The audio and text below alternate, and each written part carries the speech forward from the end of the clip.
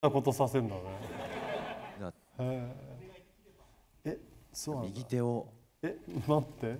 右手を上げていただく。こういうことですか？はい。ありがとうございます。ではそちらのポーズでセンターお願いします。恥ずかしいな。聞いてなかったな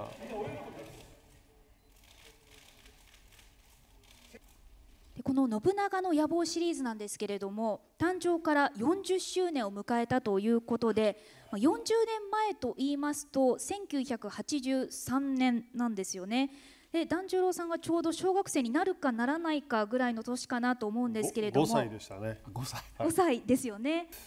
ファミコンがまだで出たて83年はちょうどファミコンがファミコンが発売されたそうですね年です。はい、出たばかりです。あのファミコンを買ったり、要するにディズニーランドがオープンしたぐらいええそうですね。ですからディズニーランド行ったり父がファミコンを購入してくださってあのファミコンをしている少年でした。あはい。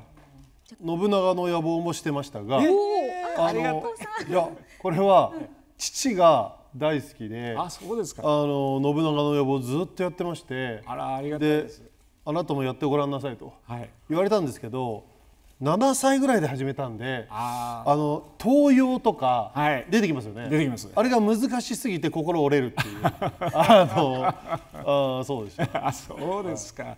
歴史というもの自体よりも家がやはりこう歌舞伎の家ですから、やはりそのゆくゆくその父はその当時まだ海老蔵ではい私はまだ、えーっと堀越高俊という本名で、えー芝居に出てましたから、やはりこう團十郎家っていうことをこう紐解いてくるとやはりこうなんかこう初代團十郎は武田の方々の血筋を引いてるのではないのかとかまあ、そんなのもありましたんで、まあ、そういうところから、まあ、歴史をかじり出すというような、まあ、幼少期でした。祖父である11代目市川團十郎にその当時の長良木二郎先生という方が、えー書き下ろした信長像があったんですね。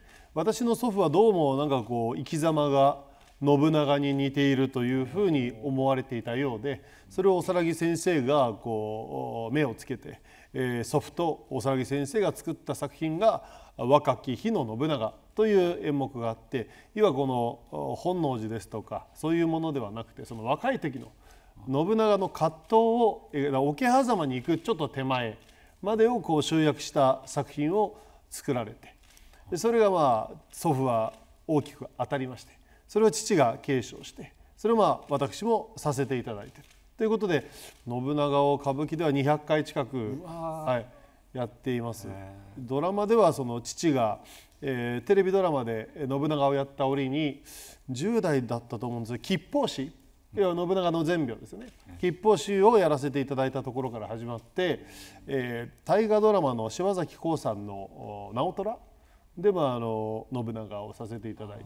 あと團十郎襲名披露のこの記念でフジテレビさんで「えー、桶狭間」というので信長を。3回ですかね。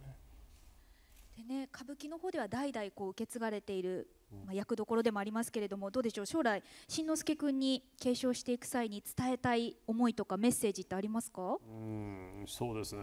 信長に関して言いますとやっぱり信長っていう人物は役者を選ぶんですね。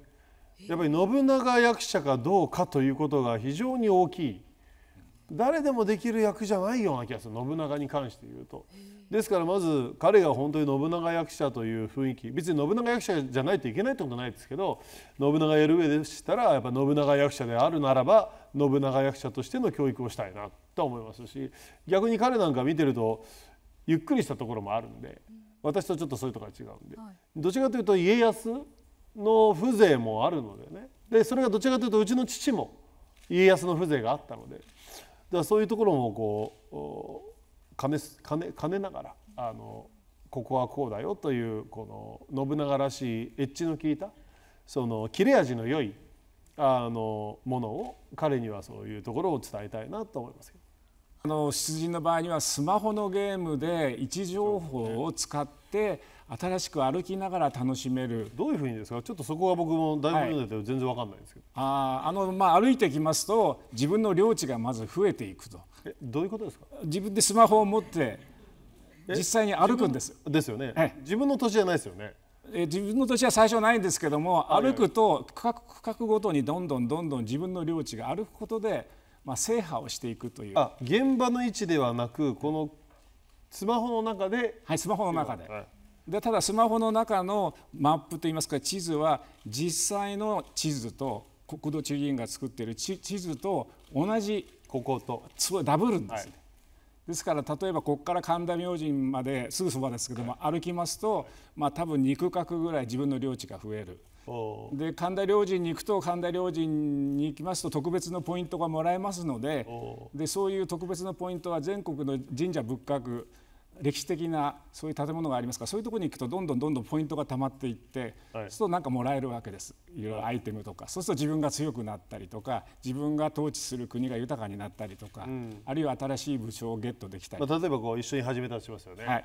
一緒にこうここから始めて、はい。神田明神まで歩きますよね、はい。そうすると同じ区画手に入れちゃってるじゃないですか。そうです。その辺のダブルはどうなってるんですか？その辺の W は別々のあのスマホですからあそれは別ダブってても OK, OK なんですあ OK なんです、ええだからそこは争わない。争わないんです。あくまでも自分の端末の中でそうです。自分が歩いたものだけそうでがすそうです。自分のものになるそうです。ああ争いがない。なるほど。あで争いたいところもそれはちゃんと争いあ争えるようになってはいます。えちなみにここで争えるんですか？